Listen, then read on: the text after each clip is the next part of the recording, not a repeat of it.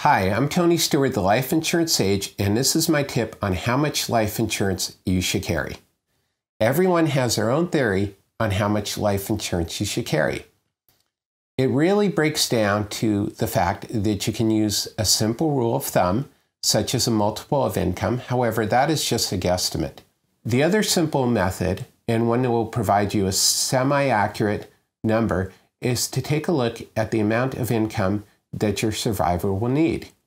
Then you back that out to get the amount of death benefit that would be invested and would provide that amount of annual income. So let's say you purchased a $1 million life insurance policy and were able to invest that with a payout of 4% a year. That would provide your beneficiary with an annual income of $40,000. That's one way to take a look at it. Another way to look at it is to do a full financial plan and determine what your exact needs will be. Keep in mind that determining how much life insurance you need is an ever moving target and will change from day to day, year to year, as your financial circumstances change.